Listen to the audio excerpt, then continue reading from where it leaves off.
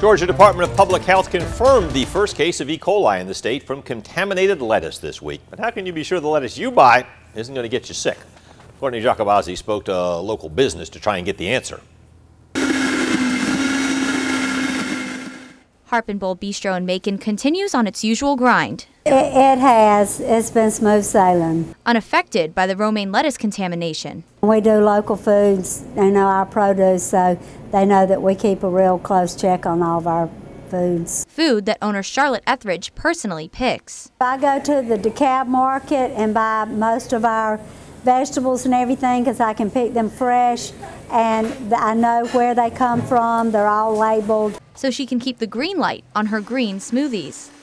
But if you need more than salad in a glass, what you need to do is look locally. Saw in the national news uh, they warned people from buying lettuce unless you knew where it comes from. The CDC suggests throwing away lettuce if you don't know where it was grown.